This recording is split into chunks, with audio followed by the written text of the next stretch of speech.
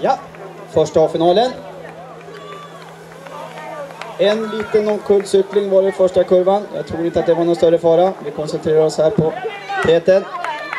973, Simon är det som går först in i kurva nummer två. Det är jag helt säker på. Följt av nummer 54, Svante. Och nummer 131, Love. Och så får vi se hur det går. Om det håller sig ända in i mål.